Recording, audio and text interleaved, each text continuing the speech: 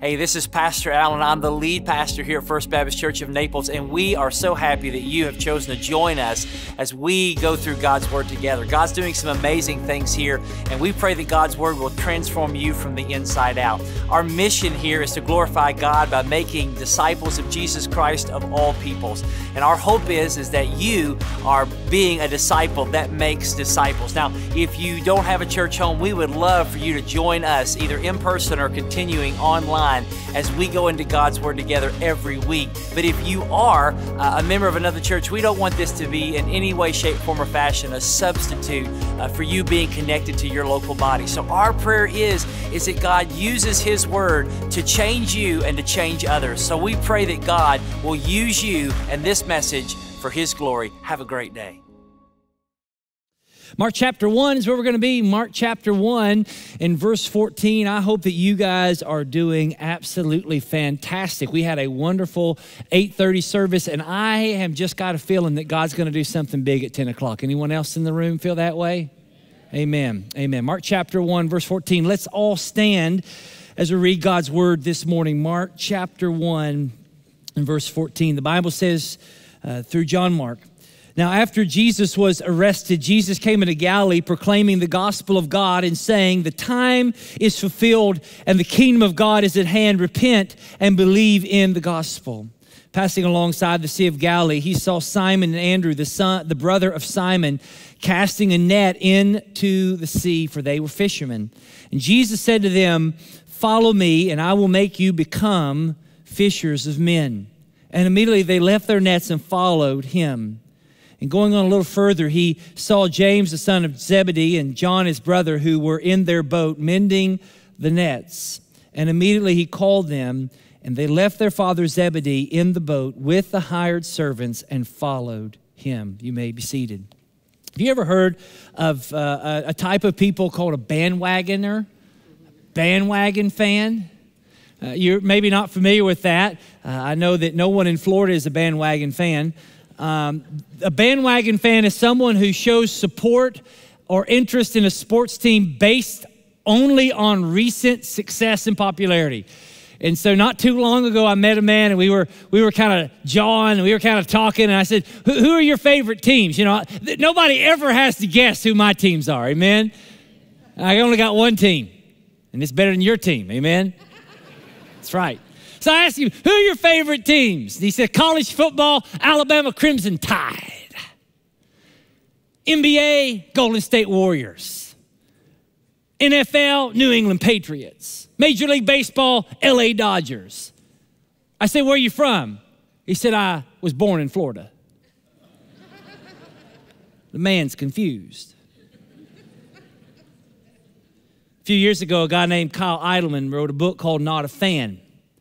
In it, he says that many people who attend church regularly are mere fans of Jesus rather than followers of Jesus. He says a fan is an enthusiastic admirer. They know the music, they wear the t shirts, they even come to worship, but that does not mean that they are a follower. A fan will sit in the stands, cheer on the team as long as the season is going well, but if the season goes bad, they stop coming. What a lot of fans of Jesus want is a relationship with Jesus but on their own terms. Some want a no strings attached relationship with Jesus, but when it comes to Him, He does not want fans, He calls followers. He's looking for disciples. And sadly, in the 21st century American easy bake oven culture, we have created a churchianity in which you can be a Christian and not be a disciple. But yet, Jesus speaks about discipleship the Bible talks about discipleship. The word disciple is found 269 times in the New Testament, and the word Christian is only found twice. So we're going to be talking about what does it mean to follow Jesus. I want to give you a succinct definition of a disciple. A disciple is someone who follows Jesus in faith and lifestyle and helps others do the same. My prayer is, is that when everyone leaves here this morning, you are a disciple of Jesus. Jesus, as uh, we have gone through these past couple of weeks, is is now come out of uh, the shadows and now he enters into his public ministry. He identifies with us through his baptism at the River Jordan by that wild hippie in the wilderness, John the Baptist. And then he goes and is whisked by the Holy Spirit into the wilderness of temptation. And there, for 40 days, he's tempted by Satan and he stands strong against the wiles of the devil and quotes the devil Deuteronomy. And I'll tell you that if Jesus had not st- stood strong in the hour of temptation, that we would not have a Savior today in the midst of our temptation. So Jesus is now going to build his community. He is now going to build his kingdom. He is ushering in this kingdom, and his community of followers is going to literally turn the world upside down. And so, as Jesus embarks on ushering in the kingdom, he's going to call four fishermen from the Galilees to follow him. And in these verses that we just read, very probably familiar verses if you're a church person, been in church all your life. And in these verses, we will see what it means to be a disciple of Jesus. And here's what we'll find is that disciples are called, they are changed by, and they're surrendered to Jesus. And we're going to see that in Jesus' simple invitation to these four men. The first thing we see in Jesus' invitation where he says, follow me and I will make you become fishers of men. The first thing that we see is in the word, in those words, follow me. And what we learn is that disciples are called by Jesus. In verse 14, Mark wants to give us a time signature. He says, Now it is when John, the baptizer, was arrested. Uh, this tells us something about what is going on in the scope of redemptive history, but even more so what was going on in, in real history and time. And that is that John the Baptist was arrested by a guy named Herod. And the reason why he was arrested by Herod is because John spoke against Herod in his sham of a marriage with Herodias. It's amazing how you can find a woman named Herodias. But what we see is that John is now in prison and John is decreasing, Jesus is increasing. And, and this word arrested is the, a word that can also be translated handed over. And it's the same word that's going to be used speaking of Jesus and his arrest. And what we're seeing is that Mark is using this specific word to foreshadow that just as the messenger is going to be rejected and betrayed and arrested, so will the Messiah be rejected, betrayed, and arrested and handed over to the Gentiles. John is not the point, he is the pointer. And now the point, however, is in this moment on the move. So Jesus came into Galilee proclaiming. He is going from synagogue to synagogue.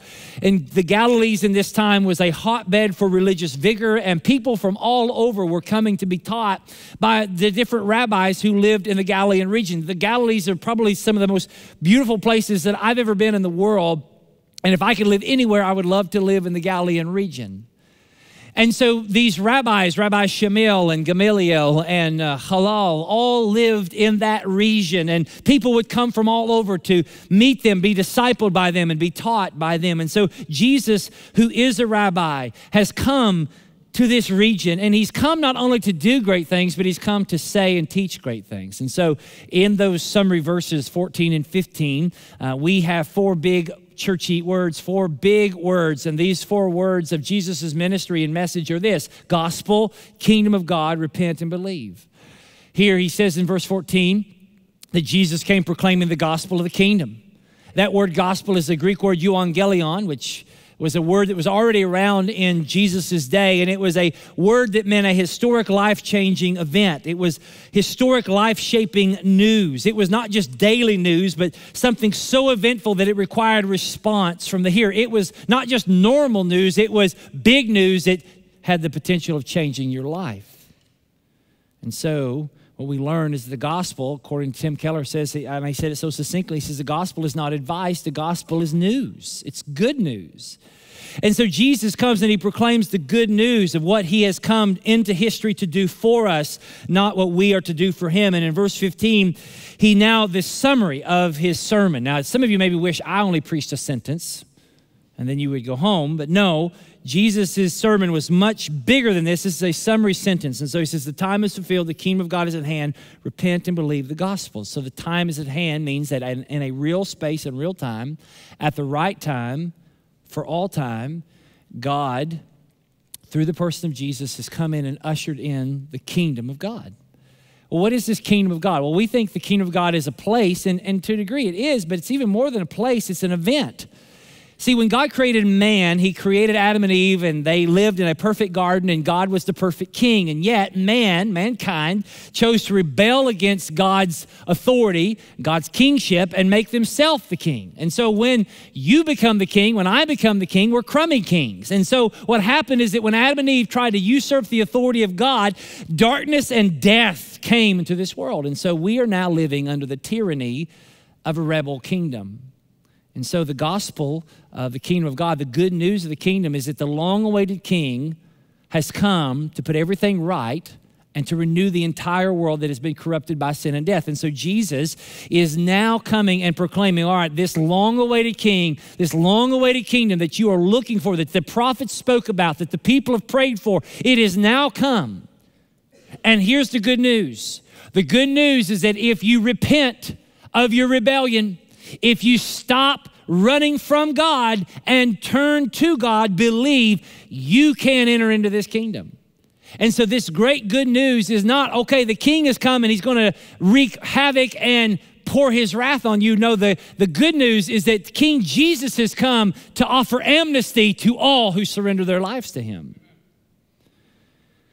Now, this is what's happening. You would think after Jesus' inaugural uh, inauguration his baptism, his defeat of the devil and temptation, and now his proclamation all throughout the synagogues, that you would think that Jesus would now storm the streets of Jerusalem, enter into uh, the Temple Mount, and would set up his messianic kingdom. You would think that he would tear off the, the, the tyranny of the Romans and he would set up his throne and rule and reign. And he would do a bunch of miracles and, and a bunch of signs and wonders. And all sickness would be eliminated and all disease and all suffering. And there would be this shock and all moment. You would think that that's what Jesus would do, is that after these, this proclamation that he would go into Jerusalem. But instead of going to Jerusalem, Jesus goes to the beach.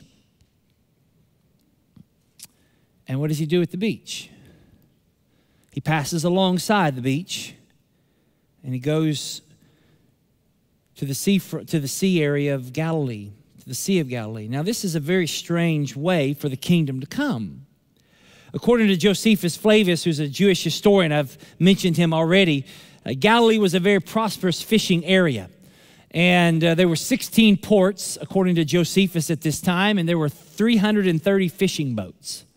There were all kinds of villages all around the sea. One was Bethsaida, uh, which is the house of fish. And then uh, there was Migdal, which is fish tower. There wasn't a fish sandwich, uh, but there was a fish tower.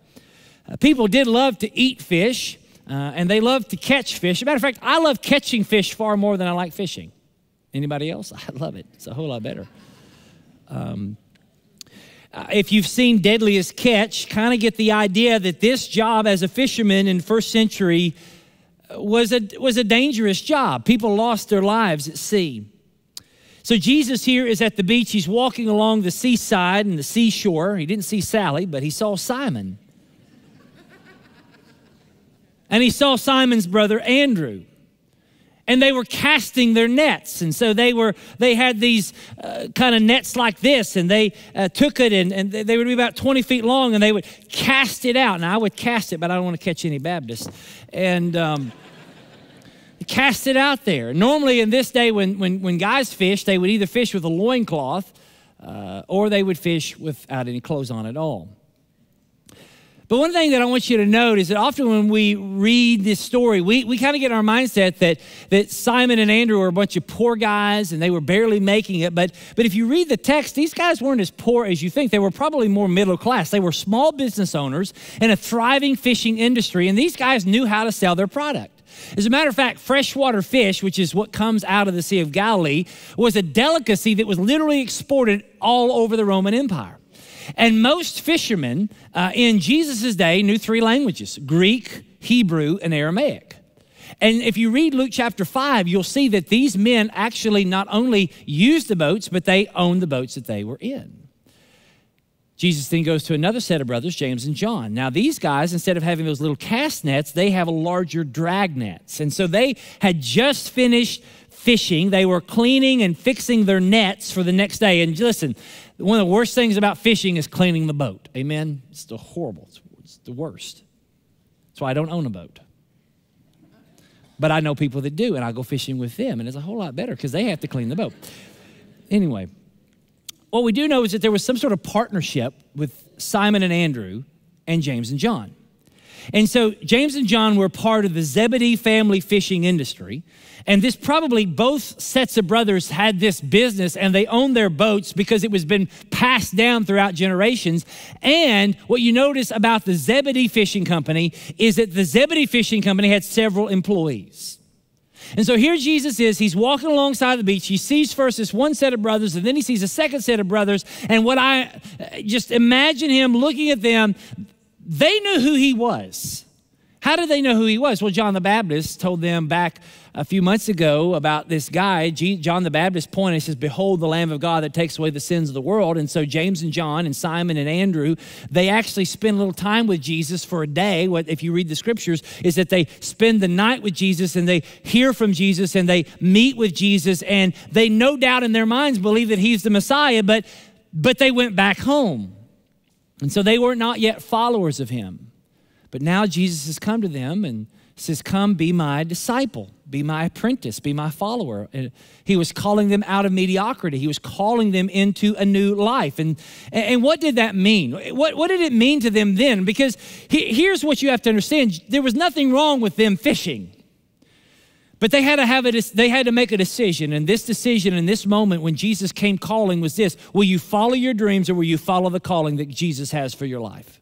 Because this calling in this moment required them to immediately give up what they were doing to follow him. Now, what did it mean to be called by Jesus? What did it mean to follow him? Well, for us to really understand that, we have to understand first century educational system. Now, I know this may not be as exciting as you want, but it will really help you down the road as you think through what it meant to be a disciple of Jesus.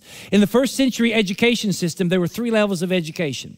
Just kind of like how we have elementary school, middle school, and high school, they had three levels. The first level, which was kind of like their elementary, was called Bet Sefer. Bet Sefer was it's the house of the book, and it was the elementary school, and it was only for guys, okay? And it was focused on reading, writing, and memorization of the Torah. That's the first five books of the Bible. Genesis, Exodus, Leviticus, Numbers and Deuteronomy. And so guys from six to 10 years old would go to Bet Sefer and they would be trained in reading and writing and memorization. And by the age of 10, they were to be able to memorize and recite Genesis to Deuteronomy in Hebrew. After that, if you wanted to go further, which some of them did and most of them didn't, you could go to the next level, which is Bet Talmud. Bet Talmud is the house of learning. And this was ages 10 to 12. And so these, this, this would be attached to a synagogue. And, and the goal for these young men, uh, young boys, were to learn and memorize the Tanakh, which is Genesis to Malachi. So by the age of 12, you were to be able to recite Genesis to Malachi. Now, this was an oral culture. And so that, but that's still a tremendous feat. At the age of 12, you would then go through your bar mitzvah and you would then officially be a man. You would go work with your father, get married, and have kids at the age of 12. Things have changed. the last school, which would be where like the top, top, top, top 1%, because 99.9% of the young men ended after the Beth Talmud because they needed to go work with their father. They needed to go start a family and continue on the, the trade, of the business of the family. But those who really were the bright of the bright, the top of the top, would go to Bet Midrash, which is the house of study and they would uh, apply to be a disciple. They would apply to be a disciple of a rabbi. And so this would be like going and getting into the Ivy League school. And so they would uh, apply to uh, Gamaliel and they would apply to Shammai. Those are kind of like the, the Princeton and Harvards uh, of them. And then, and then, you know, maybe you would, if you really weren't that great, you were at the bottom end of the top percent, maybe you could go like to Joe, you know, instead of these other big shots. But anyway, so what they would do is you would apply to different rabbis. And then, if the rabbis kind of liked who you were, you gave them enough money, they would then sit you down and test you. They would ask you a bunch of questions. If you passed their test, then you would get an acceptance letter. Not, not really, but they would accept you to be their disciple. So that was the formula. You apply, you ask, you pay money, you can be a disciple. To be a disciple of that person meant three things One is that you had to learn the Torah as well as your rabbi. So you would take on his yoke. You would know what he knows and immerse yourself in God's words. You would see the Torah from his interpretation. So if he saw it and interpreted this way, then you would see and interpret it that way. This will be very helpful down the road. So just tuck this little nuggets of knowledge away. So you would learn the Torah as well as your rabbi. Secondly, you would become like your rabbi. You would copy his every move because you would live with him 24 hours, seven days a week. You would be with him when he's asleep. You would eat with him. When he's using the bathroom, you're in the next stall. I mean, you're right there together. You would imitate his style, imitate his demeanor, imitate his voice. You would do everything like your rabbi would do everything. And then the third thing is that you would carry on your rabbi's work into the world. And so you would stay with him, you'd stay close to him, and then there would come a time that you were to do what the rabbi did for you. You were to make disciples and carry on the mission of your rabbi. And so, in this moment, when Jesus says, Follow me, they have all of that knowledge in the background, what that meant. And so they knew what Jesus was doing when they were being called to follow him, and it was absolutely mind blowing and shocking. These four men were not the intellectual elites of their day. Uh, they maybe, maybe went to Bet Midrash, or they didn't go to Bet Midrash, uh, they, they went to Bet Talmud. And so uh, these guys left school to go work in their family's business. But what was even more shocking is not just who he picked, but the fact that they didn't apply. They didn't ask Jesus. He asked them. He called them. And that was unheard of. Why is it that the Bible wants us to see this? Here's why. Mark is showing us that Jesus has a different authority than just another regular rabbi. He's not just some religious teacher that's desperate for students and will lower his standards to get them in. No, Jesus has come with all authority and he chooses who will follow him. And here's what we all have to understand none of us can have a relationship with Jesus unless Jesus calls us. Later on, Jesus is going to say to them this in John 15, 16 You did not choose me, I chose you. Now, at the moment when you become a believer and a Christian, it feels like in that moment, man, I trusted Jesus Christ as my Savior. I have decided to follow Jesus. But as you look back in the after years of being a Christian, you'll look back and say, had God not pursued me and chose me, I would have never chosen him. See, disciples are called by Jesus. Secondly, he says, not only follow me, but secondly, he says, I will make you become disciples are changed by Jesus. I will make you become. Jesus here is revealing his intention. His intention was to change them, to make them into something that they were not already. See, Jesus saw what they would become through his power. This word become is not just a one time event, but it's a process. Bob Goff, I don't know if you read anything that he writes. I love how he writes. I love his, his spirit. Here's what he says He says that Jesus does not break things so that he can fix them. He fixes broken things so he can use them. See, being a disciple of Jesus doesn't mean you have it all figured out. You know, some of you, the reason why you're not a Christian yet, the reason why you haven't given your life to Christ is you have it in your mind that you got to be a good person to be a Christian. And that's what the religious world says. The religious world says change and you can join us. But you know what Jesus says? Jesus says, join me and you will change. See, the only people that Jesus invited to follow him were sinners. The only people that will ever be saved are those who know they're sinners. These fishermen were regular guys that the other religious intelligentsia of that day would have just walked right past. These were not the all star cast. These are not the guys you would want on your team. If you were going to start a movement that changed the world, you wouldn't have called Simon Peter because these guys were idiots. You say, Well, I can't believe you said that in the pulpit. When we walk through the book of Mark, you're all going to say it in your mind what I just said out loud. And they will remain idiots until the Holy Spirit falls upon them in Acts chapter 2, and then you're going to see something happen. See, I love what Spurgeon said on this text. He says that when Christ calls us by his grace, we ought not only remember what we are, but we ought to remember what He can make us. We should repent of what we have been and rejoice in what we may be. It's not follow me because you will make something of yourselves, but follow me because of what I will make you. See, these men had no clue what God was going to do in their lives. They had no idea where they would go following Jesus. You know, when I was saved at Bradley's Pleasure Baptist Church in Cane Store, Kentucky at eight years old, I had no idea 30 years ago that I would be standing and living in Naples, Florida, and preaching the gospel at First Baptist Church of Naples. There's no idea, you can't imagine it. Some of you in your life, you, you have seen where God has taken you from where you were to where you are. And here these disciples, they had no idea. They probably thought it was going to be easy. All right, here he is. He's the king. He's the king of kings.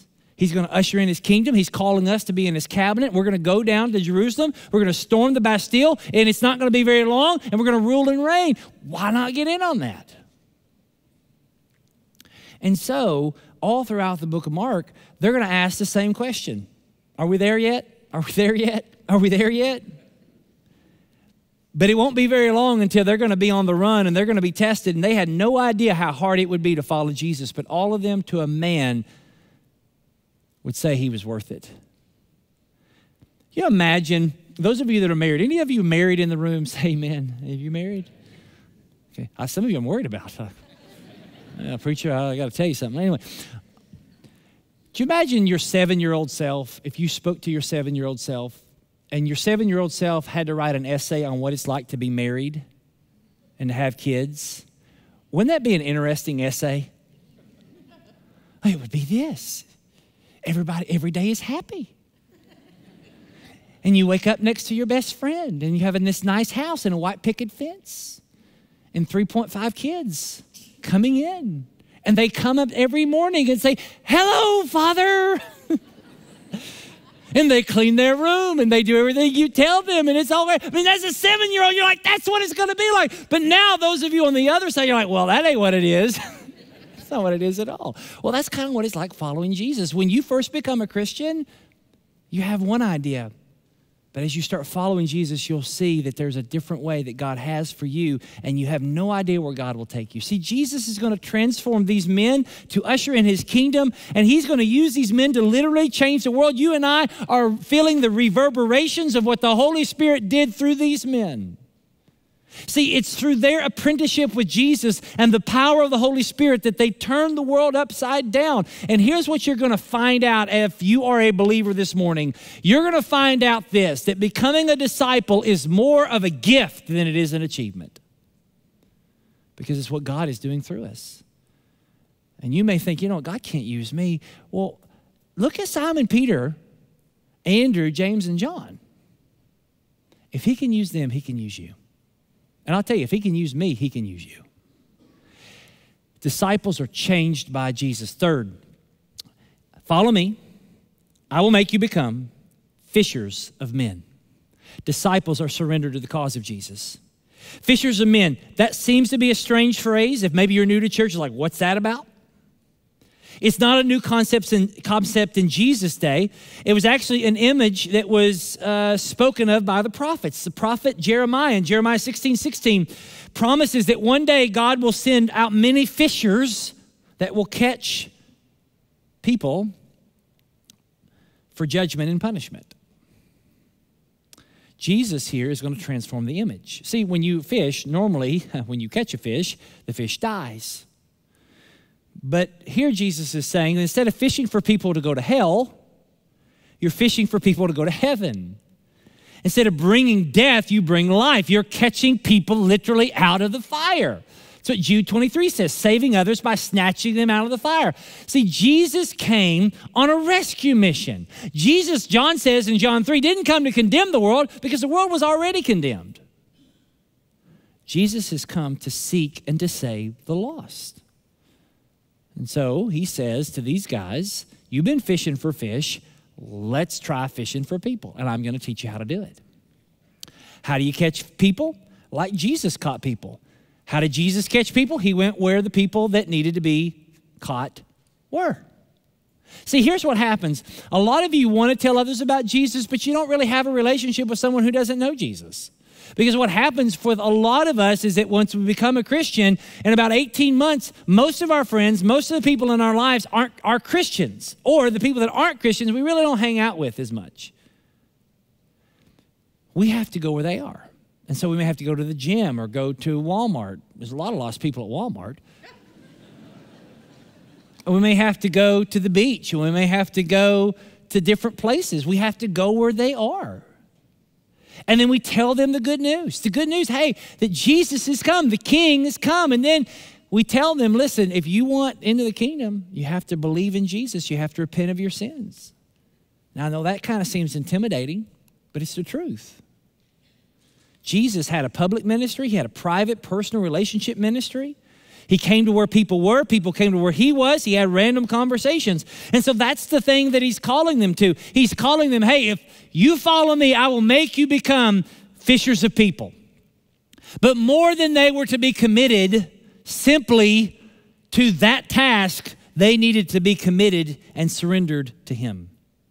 See, this call of follow me was a call to an exclusive allegiance. I have to be number one. I can't be number two. I can't be number three. I have to be number one.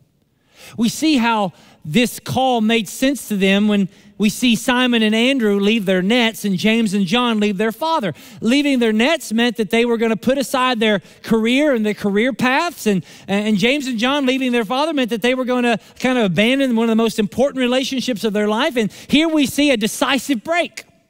This is a turning point, it's a watershed moment. Jesus becomes the number one in their life. Now, I want to make a solid note here. Because you read books like Radical, and there's nothing wrong. David's a great guy. And, and I, I believe in that book, Radical. But you, you'll get the sense, if you're not careful, that our job when we follow Jesus is we got to burn the ship and we got to burn down our house and get divorced and sell all our stuff and go be on mission. That's not what these guys do. They don't sell their boats, they don't set them on fire. Now, some of you wives saying, well, it wouldn't hurt my husband sold his boat. They didn't divorce their wives. They didn't sell their houses, they still had nets and boats. They, the sons of Zebedee left their business with their father and their employees. Peter still had a house, and he still had a wife, and he still had a mother in law living with him. James and John still had a dad and a mom. Well, what's the difference? The difference was this is that they had those things still in their life, but those things didn't have them that Jesus was number one in their life. That when they left their nets in this moment and they left their boats and their families, it was not just a mere commitment, it was a laying down of their lives. Tim Keller on this text said this He says, If you say, I will obey and follow you, Jesus, if my career thrives, if my health is good, if my family is together, then the thing that's on the other side of the if is your real master. But Jesus will not be a means to an end. He will not be used. If He calls you to follow Him, He must be the goal. See, the problem with American Christianity is we've set the bar very, very low. And our desperate plea to get more people we have basically just said this if you pray some prayer, ask Jesus in your heart, accept Jesus, then you will automatically go to heaven when you die. When you have any trouble, Jesus will be there. If you feel bad, you can pray to Jesus and he'll heal you. If you feeling depressed, he'll give you joy. And if you if you mess up, then he will love you unconditionally. And those things aren't necessarily untrue. Those things are true, but those aren't the main things. And what I'm afraid is that we're preaching churchianity rather than Christianity. Because here's what happens if you follow Jesus, you're going to have moments it stinks. Amen? And if all you've been told is if you follow Jesus, it's gee whiz and hallelujah till you die, then when you don't get what you expect to get, then you just say, well, does Jesus even exist? The biggest threat, Kyle Idleman says, to the church today is fans who call themselves Christians but aren't actually interested in following Jesus. They want to be close enough to Jesus to get all the benefits, but not so close that it requires anything from them. So let me end with this. What does it mean to be a disciple of Jesus? Three things. The same three things it meant to be a disciple in first century Israel. One, to be a disciple of Jesus means that you learn from Jesus. You learn from the rabbi. You read, study, memorize, and meditate on God's word. You read the Gospels. You, spend time with Jesus in prayer. You talk to him. You have quiet time with him. You watch his life. You hear his voice and you pray every day God, show me who Jesus is and show me how to follow him. You learn from him. But secondly, to be a disciple means that you live like him.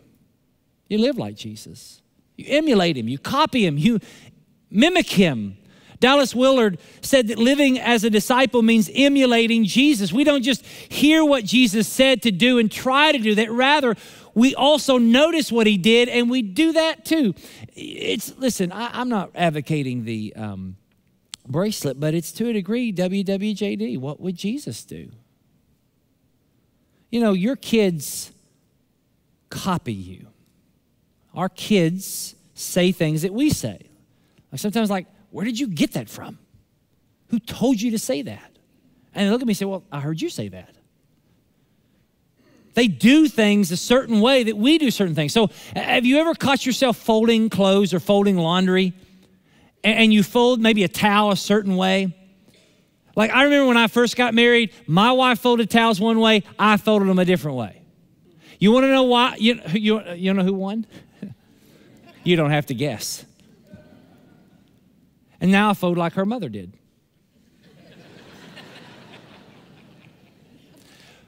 Why? Because you learn from your parents how to fold things, right? You do what they do. You, you, you, you look like your parents. And I feel sorry for my boys. Um, you sound like your parents. I mean, because you copy them, right? You copy them. That's what it means to be a disciple. You are discipling your kids. You understand that, parents in the room? That the church ain't discipling your kids. You are. It's your responsibility. It's not Google's responsibility, it's yours. And they mimic you. And we should follow Jesus so much that when people see us, they should see that we follow Jesus. But how we live and how we act and how we talk. And I want to tell you, you can only do that through the power of the Holy Spirit. But that's what it means. Third, you learn from Jesus, you live like Jesus, and you carry on the mission of Jesus. The first thing Jesus said in calling them to be his disciples was what? Fish for people. You follow me, I will make you become fishers of people. The last thing Jesus says before ascending to the Father is go and make disciples. Isn't that amazing? It comes full circle. See, Jesus would spend three years of his life preparing him for the mission.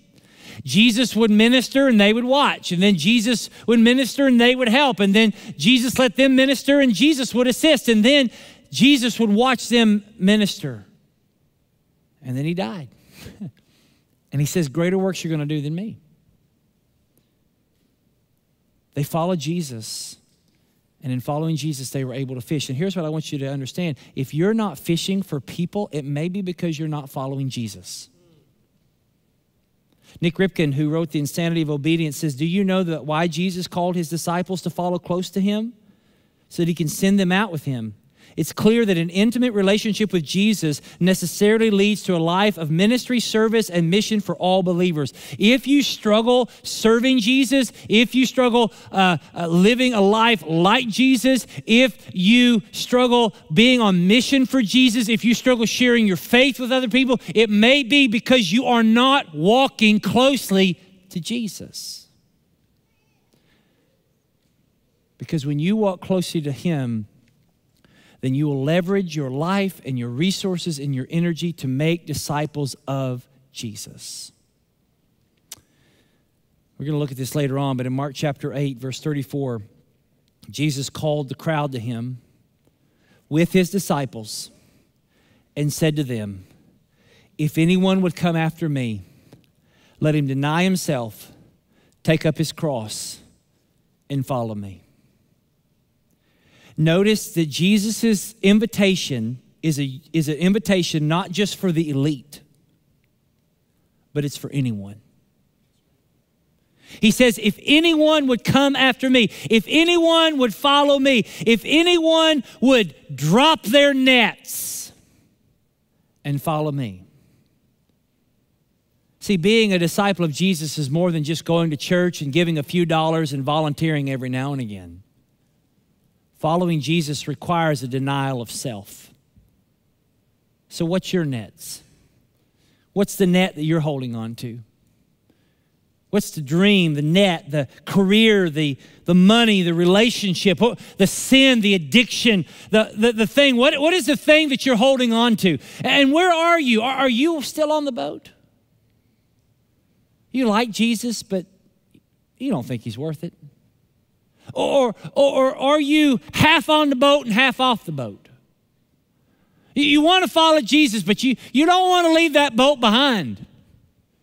Or maybe you're, you're crawling back into the boat because you, you stepped out in the water and, and it got hard and now you want to go back to the boat. Or are you following Jesus? Let me tell you something it costs to serve Jesus. But you know it costs far more not to serve him? It costs to follow Jesus, but it costs a whole lot more to not follow Jesus. So, what's your net? What are you holding on to? Because the only way you can be a disciple of Jesus is you've got to drop your net and follow him. Let's pray. Father in heaven, I pray that your Holy Spirit would do what I could not do, and that is call people to yourself. And Father, I pray that for those in this room who need a relationship with you, that they need to follow you, that today, God, would be that day that they would follow you. That they would let down of the net, whatever it is money, career, relationship, addiction, some sort of sin, whatever it is that's holding them back from being all in. Lord, let them let it go and give it to you and trust you with the results. Father, I love you and I want to become like like you, and I want to be a fisher of people for your glory. In Jesus' name, amen. Let's all stand. Thank you for joining us as we go through God's Word together. I pray again that God will transform you from the inside out. So, as we say here at First, you have come to church. Go out and be the church. Have a great week of worship. We can't wait to see you soon.